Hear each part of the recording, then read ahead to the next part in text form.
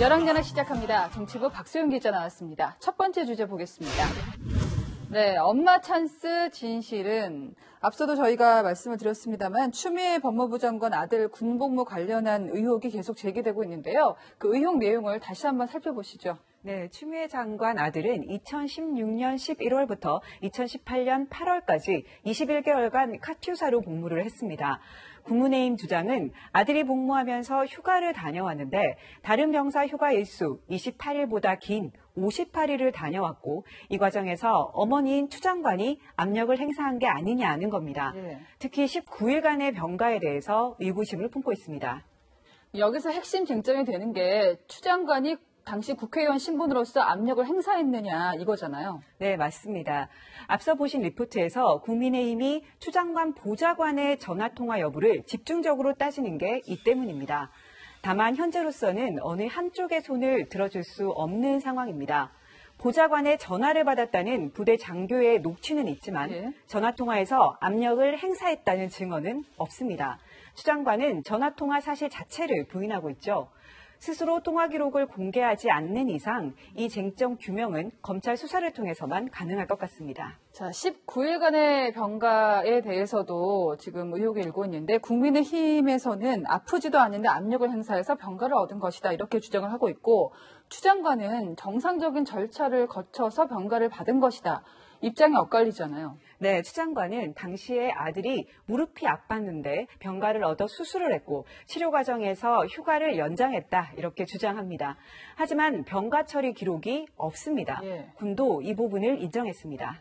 구두로 병가를 승인했고 기록이 없는 건 행정상 착오라는 겁니다.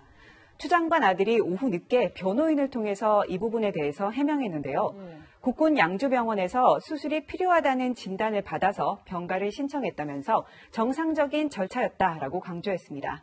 이 쟁점은 추 장관 측에서 아들의 진단서를 공개하면 말끔히 해소될 텐데요. 아직은 공개하지 않고 있습니다. 네, 누가 진실을 말하는지 지켜봐야겠습니다. 자, 이제 국회 품격을 이야기해 볼 텐데 오늘의 품격은 예, 불결한 손가락, 예, 불결한 손가락 때문에 충돌이 빚어졌습니다. 네, 오늘 국회 운영위에서 김태흠 국민의힘 의원과 김진애 열린민주당 의원이 충돌했습니다. 김대지 국세청장 같은 경우는 기재위에서 의장 전입을 따도 자기 본인이 인정했어요. 그럼에도 불구하고 우리 채택해줬어요. 네, 그래서 먼저 가겠습니다. 아, 끼어들지 마시고, 피아노 놓지 마시고, 좀 조선님, 저기, 제 손입니다. 예, 알아요.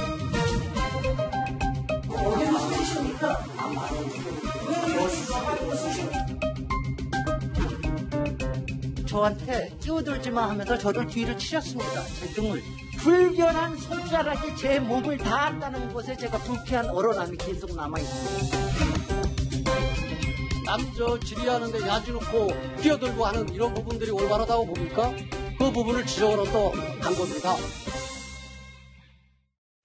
예, 뭐 말을 끄는 의원이나 이를 가서 따지는 의원이나 또 일본어까지 써가면서 받아치는 의원이나 품격과는 좀 거리가 멀어 보이네요. 네, 여기에 여야 의원들까지 가세해서 설전을 벌였습니다. 이거 폭행이라고도 볼 수도 있습니다. 아니면 더 나가서 이건 뭐 성희롱하는 것이냐. 손가락을 가지고 아주 유치한 공방을 벌이고 있는 점에 대해서 대단히 유감스럽게 생각합니다.